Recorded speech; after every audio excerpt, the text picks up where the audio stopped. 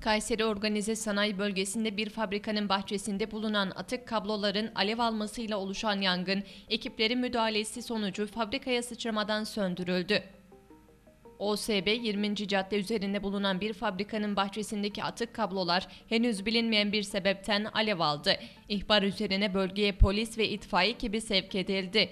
Polis ekipleri çevrede güvenlik önlemi alırken itfaiye ekiplerinin müdahalesiyle yangın fabrikaya sıçramadan söndürüldü. Olayla ilgili soruşturma başlatıldı.